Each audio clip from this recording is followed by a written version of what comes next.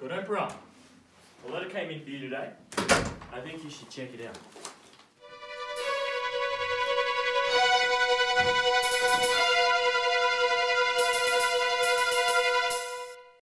Dear God Emperor, there must be freedom. Our school is under threat. Be in your office at 1.40 lunchtime and sign over the school Mr. When I have the power, the light you have cast over this school, You wanted it. along with the colour of the student socks, No! will go back to black.